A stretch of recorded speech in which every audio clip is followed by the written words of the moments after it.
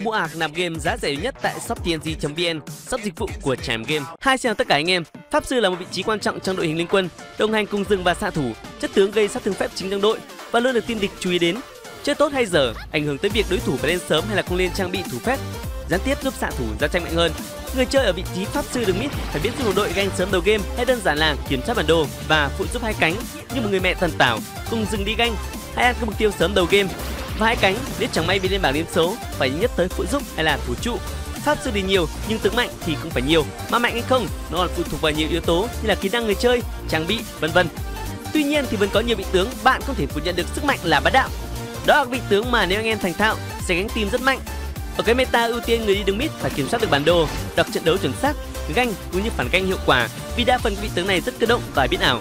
Nhưng đôi lúc, các vị tướng dù thiếu cơ động nhưng lại có hiệu quả cao trong trận đấu, luôn được trọng dụng nhưng ở mỗi server lại có cách tận dụng tướng khác nhau. Ví dụ như bên Đài Loan thì Sepeda rất ưu tiên đi đường mid, còn Việt Nam, đa số bị anh em mặc định là trợ thủ. Quét điểm tên các vị tướng ưu tiên mua và chơi khi anh em đánh đơn tại phiên bản chiến trường 10 với 10 đấy nhé. Top 5 Kali không phải bị tướng mạnh ở đầu trận, nhưng càng về cuối trận Kali càng chứng tỏ cô nàng này là một trong vị tướng pháp sư rất là bá đạo nhá. Khi đi đường Kali không có quá nhiều ưu thế trong các pha trao đổi chiêu thức, do chỉ một kỹ năng gây sát thương, nhưng bù lại, cô nàng lại có khả năng dọn lính phương tốt nhờ đòn đánh thường có thể lên chí mạng cho Kali để tay đôi mạnh hơn với pháp sư Thiên địch. Trong tranh có thể ép góc rất tốt nhờ chiêu một và kết hợp chiêu cuối để câu máu từ xa. Điều này làm tiền đề rất tốt cho cả đội có thể dồn rất thương và mang lại chiến thắng trong tranh. Đặc biệt cực mạnh ở mảng công thủ trụ. Điều mà bắt buộc nếu bạn muốn giành chiến thắng, anh em chơi Kali cứ ôm fan thôi, nhịn nhục đầu trận và chỉ đi ganh cùng trợ thủ và người đi rừng. Thủ được trụ đã thành công. Và khi ở chiêu cuối nên theo rừng và team để ép ra tranh ở cánh hoặc là tranh đoạt mục tiêu là vị tướng thiếu cơ động. Nhưng chỉ cần anh em cố gắng di chuyển cẩn thận, tránh bị bắt lẻ và thọt đầu game. Cuối game thì kali chính là một quái vật thực sự. Về mẹo chơi một chút, anh em nên sử dụng chiếc cuối trước khi lính chạm chủ địch để có tỷ lệ trúng tướng cao hơn hoặc là nhằm mục đích khép góc đối thủ để đồng đội phá trụ và đối thủ khó lòng thủ trụ. Đó là điểm mạnh và đáng gờm mà kali có. Kali là vị tướng thiên về dưới vào cuối game, nên thọt mọi người cứ ôm chờ đồ nha. Có kali thì team bạn có một lá bài bảo hộ trong việc thủ nhà dưới đó nếu bạn chán chơi Kali với đôi trang bị truyền thống, việc lên các ngọc có chí mạng và tốc độ đánh hay là kể cả thánh kiếm từ đầu game cho phép Kali dọn lính cực nhanh, đánh thương cực thốn, đặc biệt trong khâu tay đôi trong tranh khi hết chiêu thức. Vị trí đường mid cầm bổ trợ tốc biến nếu mắc chiêu 2 và cày máu thứ nhất. Top 4, Rap Bộ kỹ năng cực kỳ cơ động giúp Rap là vị tướng pháp sư nhưng vừa có thể đảm nhiệm vai trò sát thủ. Có thể nói, đây là vị tướng pháp sư có đối đánh hấp dẫn bậc nhất liên quân. S0 hay chơi Rap nhưng mỗi khi cầm rác là cảm thấy vô cùng phấn khích. Đã tương đối mạnh ở khả năng cấu rỉa từ cú đấm trên không, lượng sát thương lớn, thời gian hồi chiêu nhanh cùng với khả năng làm chậm từ bộ kỹ năng này luôn khiến đối thủ trúng đòn cảm thấy tương đối khó chịu. Ngoài ra, còn dùng để chiếc bản đồ giúp đỡ bị gánh bất ngờ. Để rồi sau khi cấu đủ máu, một combo với cú đấm thăng hoa cùng tả xung hướng đột giúp cho Rát hoàn toàn thể hạ gục bất kỳ đối thủ nào. Thậm chí nếu sử dụng hợp lý chiêu cuối và nội tại, Lát có thể đẩy các vị trí trọng yếu đối thủ về hướng đồng minh của mình. Qua đó có thể hạ gục các vị tướng có vai trò gây chấn thương chủ lực của đối thủ một cách đơn giản hơn. Rat mới trở lại nhờ meta xạ thủ lên ngôi cũng chính là các con mồi mà Rat cực kỳ yêu thích. Việc vị tướng này đá tung đít Ilomir là vị tướng pháp sư khác hoàn toàn xứng đáng. Mẹo chơi ở đây chính là nên giữ thanh nội tại ở trên khoảng 70% chuẩn bị cho tình huống combo hạ gục hoặc là bỏ chạy. Đốt nước tiên chủ lực tiên địch để dồn combo, cấu rỉa trước khi giao tranh và dứt điểm đối thủ. Hoặc là sẵn sàng sử dụng chiêu 2 sau đó sử dụng chiêu cuối tốc biến đập nát mạng đối thủ khi căn đồ sát thương. Lưu ý về trang bị. Về sau anh em có thể bán phượng hoàng lệ tùy vào tình huống để lên sát hồi sinh, quả cầu băng xương và mặt nạ Berit, vân vân. Vị trí đường mid cầm bổ trợ tốc biến nếu mắc chiêu hay và cài máu thấp nhất.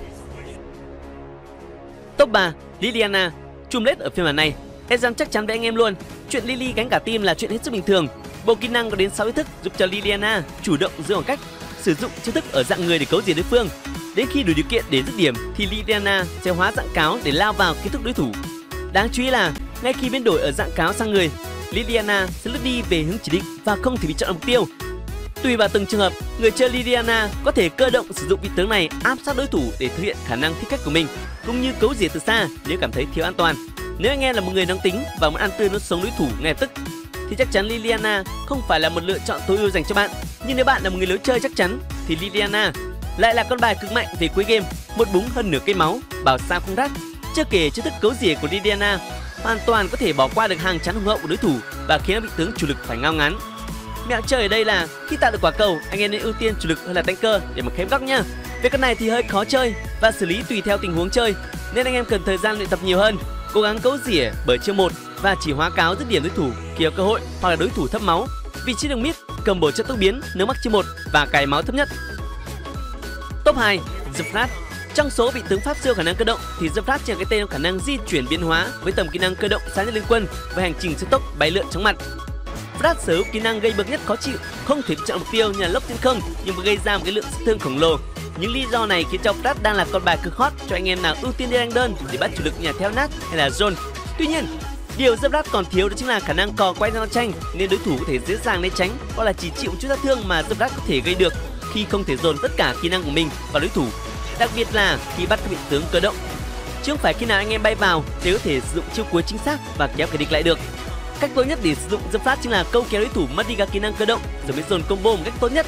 Hoặc đơn giản hơn là nhiệm vụ duy nhất của bạn đó chính là bắt vào chủ lực tiên địch, hạ sát được địch trong một combo là thành công rồi. Zephyr nên kết hợp tốc hành khi gặp đối thủ ít cơ động hơn. Còn nếu gặp team quá cơ động và để bắt chủ lực bất ngờ thì tốc biến hiệu quả rõ ràng. Đây là con bài có tính khả thi nhất cho nhiệm vụ bắt các vị tướng chủ lực có khả năng giữ vị trí, đặc biệt là đứng sâu trong vòng vây kẻ địch bị nhà theo nát hay là zone khi mà Cavani hay là Hayate bị cấm. Mẹo chơi ở đây di chuyển liên tục để có thể tích nội tại. Khi băng trụ cấu rỉa hay tấn công tiêu nên đấm nội tại lấy giáp ảo và khống chế để tấn công đơn giản hơn.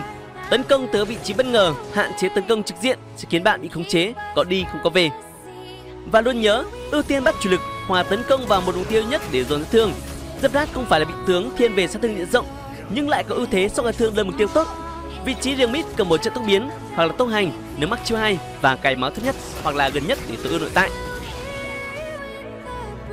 Top 1, Tulen là một trong vị tướng có tỷ lệ chọn cực cao, là vị tướng S yêu thích khi chuyển sang chơi vị trí đường mid hiện tại Sức mạnh Tulen có là cực kỳ bá đạo trong đấu xếp hạng. Trong thực tế, bộ kỹ năng của Tulen gần như hoàn hảo ở mọi phiên bản. Dù cho anh ta bị giảm sức mạnh đi chút tại đầu game, Tulen cơ động tốt, giao tranh mạnh từ đầu game.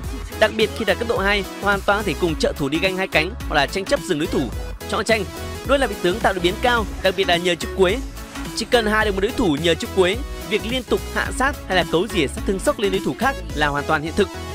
Đi ganh và tạo được biến mạnh, đó là điều mà Tulen mang lại và mọi người đều đang mong chờ lối chơi đa dạng có thể cấu rỉa nếu anh em vào nhiều vị tướng khống chế thì Tulen không bay được hoặc là có thể sâu thương một cách mạnh ngánh tim thì đừng hỏi tại sao vừa vào game anh em mới mắc chiêu hai đầu tiên nhưng sau đó phải mắc chiêu một nếu gặp các kèo có thể kiểm soát được mid nếu gặp các kèo khó hay là đối thủ có quá nhiều con bài cam mid đầu game như là Sevra, Victor, Elsu, kẻ theo nát thì nên nâng chiêu một để có thể dọn lính nhanh hơn trước khi giao tranh các bạn nên cố gắng tích trữ nội tại để có thể tối ưu hóa sát thương và ưu thế khi giao tranh S thường hay chơi Tulen theo thiên hướng phun sát thương nên anh em cố gắng giữ máu và chờ cơ hội lao vào nhé.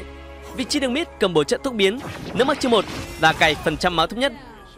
Meta cơ động, meta có vị tướng kiểm soát bản đồ mạnh, cũng là lúc các vị tướng pháp sư cơ động nhất lên ngôi. Mong các vị tướng này giúp cho anh em rank đơn đơn giản hơn. Đặc biệt là khi phiên bản chiến trường 10v10 mới ra mắt, hiện tại các vị tướng pháp sư mới mắt là không có, nên đây luôn là các vị tướng pháp sư bá chủ hiện tại. Đương nhiên, Vị tướng nào đều có ưu điểm và mạnh yếu khác nhau, sử dụng tùy thời điểm, ví dụ như Ilumia, Daurel, Severa, Zina luôn là con bài mạnh và có chịu, các bạn nên chú ý tới. Nhưng nếu eo hẹp về vàng thì năm vị tướng trên đây là tối ưu cho anh em thoải mái đeo rank và luyện tập nhé. Nếu thấy hay đừng quên để lại một like và đăng ký kênh ủng hộ em nhé. Anh em muốn ép làm tiếp về nội dung gì? Nhớ bình luận ngay dưới video này. Xin chào và hẹn gặp lại trong các clip lần sau.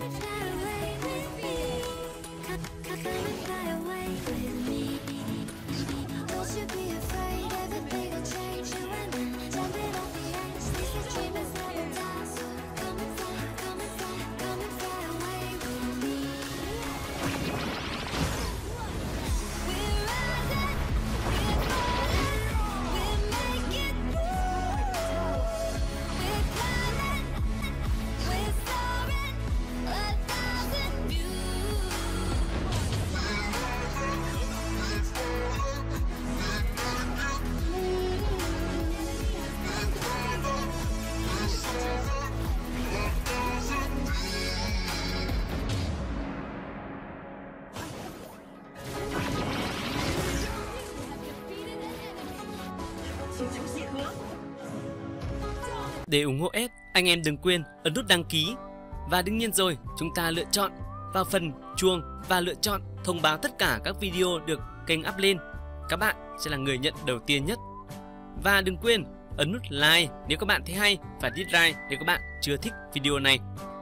Và chia sẻ video này cho bạn bè ở trên Facebook, Google. Cảm ơn các bạn rất rất nhiều.